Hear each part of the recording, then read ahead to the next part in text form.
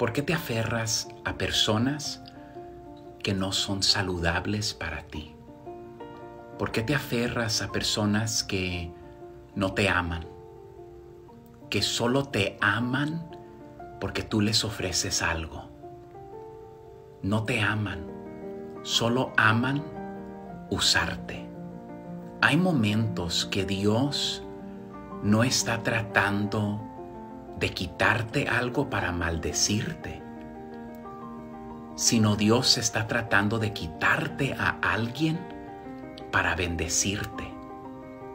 Porque si Dios no quita a esa persona de tu vida, no hay nuevo espacio en tu corazón para una nueva relación saludable. Esa gente que solo habla mal de ti detrás de tus espaldas no necesita ser parte de tu futuro. Yo le llamo a aquellas personas vampiros emocionales personas que solo drenan tu energía, drenan tu gozo. Son personas que nunca levantan el ánimo en tu vida, solo toman.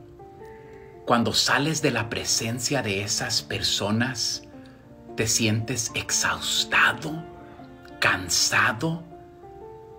Y la verdad de las cosas es que mucho de lo que está pasando no es culpa de ellos, es culpa tuya por permitirlos que sigan en tu vida.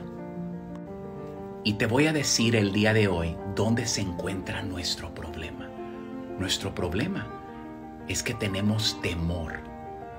Temor de que Dios no va a reemplazar a esa persona con mejores personas que no siempre van a estar drenando, chupando, siendo esos vampiros de tu vida. Lo he mirado en mi vida. Te lo pongo de esta manera. Nunca en mi vida yo he mirado a Dios quitar a alguien de mi vida sin darme a alguien mejor una relación que yo digo, wow, ¿dónde estaba esta persona? ¿Dónde estaba esta relación?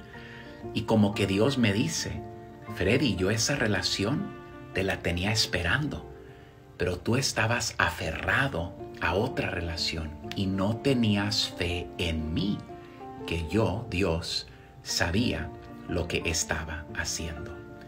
Deja ir personas que no te aman. Deja ir personas que solo aman usarte. Y abre espacio para nuevas grandes oportunidades de relaciones en tu vida. Dios te bendiga. Comparte con otros.